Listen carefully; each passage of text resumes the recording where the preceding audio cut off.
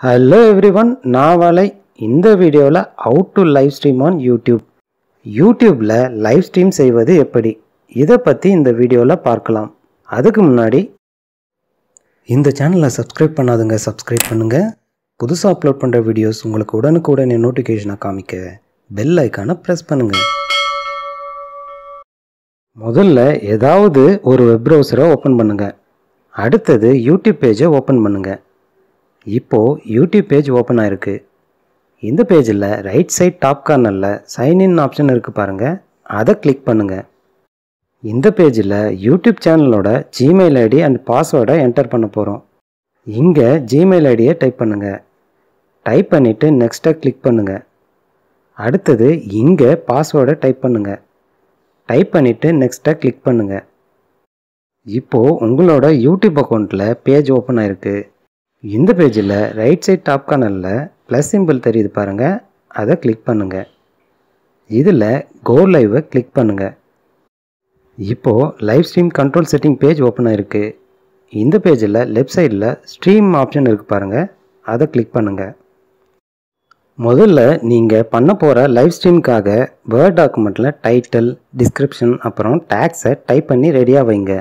Already நான் type பண்ணி ரெடியாக இருக்கிற வேர்ட் டாக்குமெண்ட்டை இப்போ ஓப்பன் பண்ண போகிறேன் இதில் பாருங்கள் டைட்டில் டிஸ்கிரிப்ஷன் அப்புறம் டேக்ஸ் இருக்குது முதல்ல டைட்டிலை செலக்ட் பண்ணுங்கள் அப்புறம் கண்ட்ரோல் ப்ளஸ் சியை கொடுத்து காப்பி பண்ணுங்கள் இங்கே கண்ட்ரோல் ப்ளஸ் வியை கொடுத்து பேஸ்ட் பண்ணுங்கள் அடுத்து ஆட் ஏ டிஸ்கிரிப்ஷன் அப்படின்னு இருக்குது பாருங்கள் இதில் வேர்ட் டாக்குமெண்ட்டில் டைப் பண்ணி வச்சுருக்கிற டிஸ்கிரிப்ஷனை இங்கே என்டர் பண்ண போகிறோம் இப்போது வேர்ட் டாக்குமெண்ட்டை ஓப்பன் பண்ணுறேன் இதில் டிஸ்கிரிப்ஷனை செலக்ட் பண்ணுங்கள் அப்புறம் கண்ட்ரோல் ப்ளஸ் சியை கொடுத்து காப்பி பண்ணுங்கள் இங்கே கண்ட்ரோல் ப்ளஸ் வியை கொடுத்து பேஸ்ட் பண்ணுங்கள் அடுத்து கேட்டகிரி இதில் நீங்கள் என்ன டாப்பிக்கில் லைவ் ஸ்ட்ரீம் பண்ண போகிறீங்களோ அந்த கேட்டகரியை சூஸ் பண்ணுங்கள் எக்ஸாம்பிள் நான் இப்போ சூஸ் பண்ணியிருக்கிற topic news so news and பொலிட்டிக்ஸை select பண்ணுறேன் இது மாதிரி உங்கள் கேட்டகரி ஸ்போர்ட்ஸாக இருக்கலாம் கேம்ஸாக இருக்கலாம்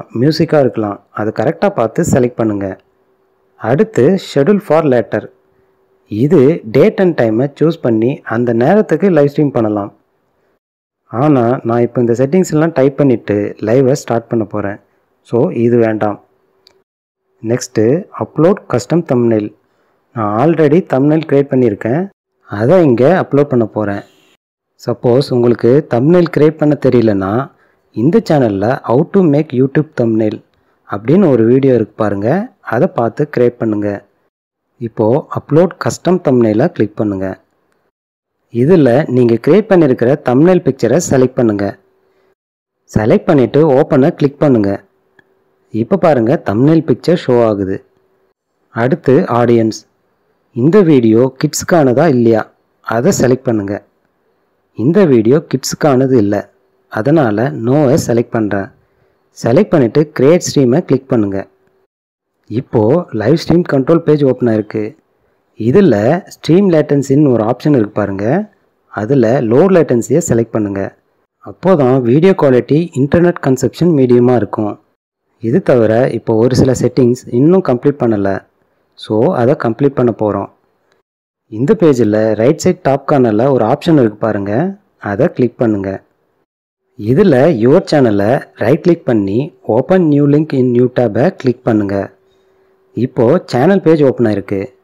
இதில் யூடியூப் ஸ்டுடியோவை கிளிக் பண்ணுங்கள் இந்த பேஜில் ரைட் சைடில் வீடியோன்னு ஒரு ஆப்ஷன் இருக்குது பாருங்கள் அதை கிளிக் பண்ணுங்கள் இதில் லைவ்னு ஒரு ஆப்ஷன் இருக்குது பாருங்கள் அதை கிளிக் பண்ணுங்கள் இதுதான் அடுத்து பண்ண போகிற லைவ் ஸோ இதில் டீட்டெயில்ஸை கிளிக் பண்ணுங்கள் இந்த பேஜில் டைட்டில் டிஸ்கிரிப்ஷன் தம்னில் ஆடியன்ஸை ஆல்ரெடி என்டர் பண்ணியாச்சு.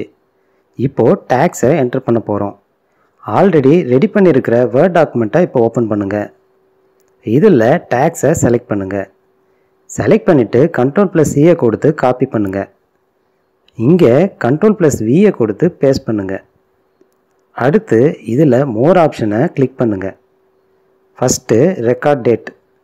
லைவ் பண்ணுற டேட்டை செலக்ட் பண்ணுங்கள் அடுத்து லைசன்ஸ். ஸ்டாண்டர்ட் யூடியூப் லைசன்ஸை சூஸ் பண்ணுங்கள் அடுத்து வீடியோ லாங்குவேஜ். வீடியோவில் என்ன லாங்குவேஜ் யூஸ் பண்ணியிருக்கீங்களோ அந்த லாங்குவேஜை செலக்ட் பண்ணுங்கள் மற்றதெல்லாம் ஆல்ரெடி செலக்ட் பண்ணியாச்சு. இப்போ சேவை கிளிக் பண்ணுங்கள் இப்போது லைவ் ஸ்ட்ரீம் பண்ணுறதுக்கு பேசிக்கான செட்டிங்ஸ் என்டர் பண்ணியாச்சு.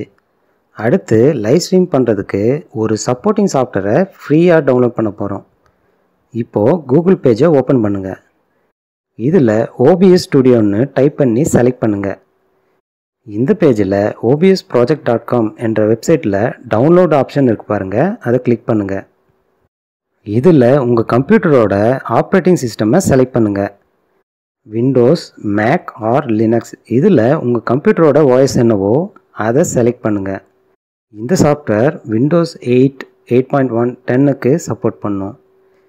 விண்டோஸில் சிக்ஸ்டி ஃபோர் பிட்னா இதை கிளிக் பண்ணி டவுன்லோட் பண்ணுங்கள் விண்டோஸில் தேர்ட்டி டூ பிட்னா இதை கிளிக் பண்ணி டவுன்லோட் பண்ணுங்கள் ஆல்ரெடி நான் டவுன்லோட் பண்ணி இன்ஸ்டால் பண்ணியாச்சு. ஸோ இப்போ ஓபிஎஸ் ஸ்டுடியோ சாஃப்ட்வேரை ஓப்பன் பண்ணுறேன் இதுதான் ஓபிஎஸ் ஸ்டுடியோ சாஃப்ட்வேர் இந்த ஓபிஎஸ் ஸ்டுடியோவில் பேசிக்கான டீட்டெயில்ஸை என்டர் பண்ணி லைவை ஸ்டார்ட் பண்ணலாம்.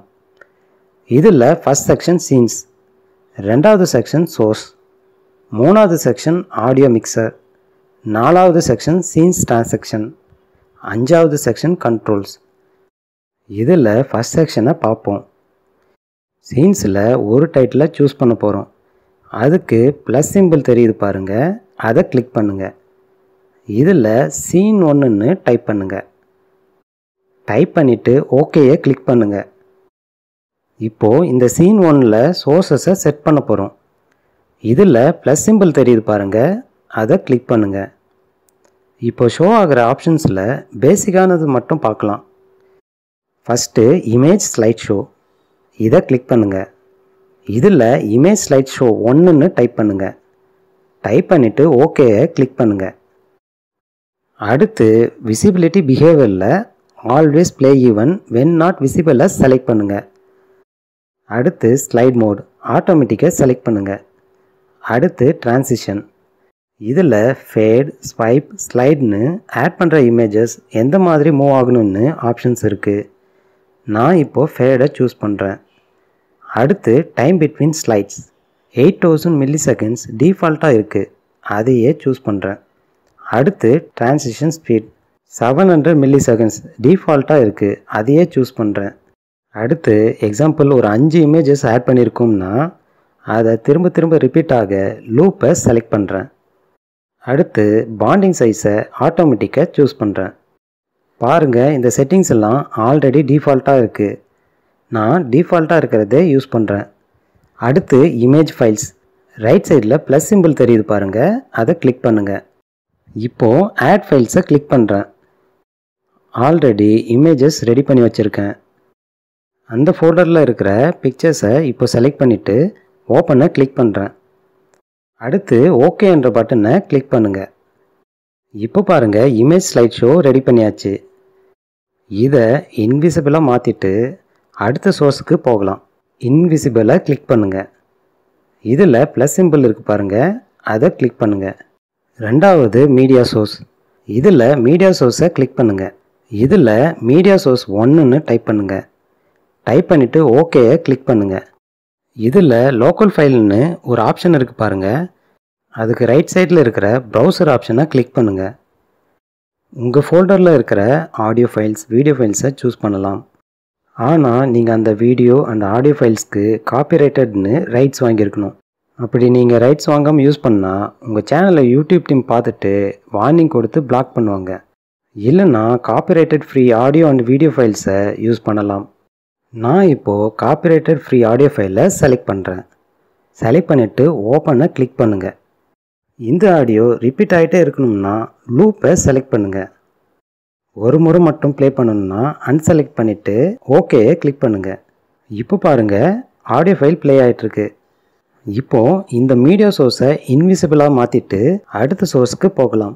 இன்விசிபிளாக கிளிக் பண்ணுங்கள் இதில் ப்ளஸ் சிம்பிள் இருக்குது பாருங்கள் அதை கிளிக் பண்ணுங்கள் இதில் வீடியோ கேப்சர் டிவைஸை செலக்ட் பண்ணுங்கள் வீடியோ கேப்சர் டிவைஸ் ஒன்றுன்னு டைப் பண்ணுங்கள் அடுத்து ஓகேயை கிளிக் பண்ணுங்கள் இதில் டிவைஸ்னு இருக்குது பாருங்கள் இந்த ஆப்ஷனில் உங்கள் வெப் கேமரா இன்பில்ட் இல்லைன்னா எக்ஸ்டர்னல் கேமரா இதில் ஒன்று சூஸ் பண்ணுங்கள் நான் இப்போது இன்பில்டாக இருக்கிறத சூஸ் பண்ணுறேன் அடுத்து ப்ரீசெட் இது ஆல்ரெடி இந்த செட்டிங்ஸில் YouTube display size thousand two eighty into seven twenty pixel சைஸ்க்கு இருக்குது நான் இப்போது அதையே சூஸ் பண்ணுறேன் சூஸ் பண்ணிவிட்டு ஓகேயை கிளிக் பண்ணுங்கள் இப்போ பாருங்கள் ஃபேஸ்லே ஆப்ஷன் ரெடி ஆயிடுச்சு. இதை இன்விசிபிளாக மாற்றிட்டு அடுத்த செக்ஷனுக்கு போகலாம். இன்விசிபிளாக கிளிக் பண்ணுங்கள் அடுத்து ஆடியோ மிக்சர் செக்ஷனுக்கு வந்திருக்கோம்.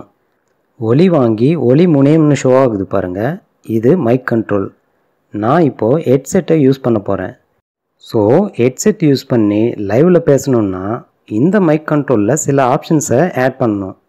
இங்கே ஒரு ஆப்ஷன் தெரியுது பாருங்கள் அதை கிளிக் பண்ணுங்கள் இதில் ஃபில்டரை கிளிக் பண்ணுங்கள் மைக்கில் பேசும்போது சரௌண்டிங் நாய்ஸ் எல்லாம் நம்ம பேசும்போது ஒன்றா சேர்ந்து கேட்கும்.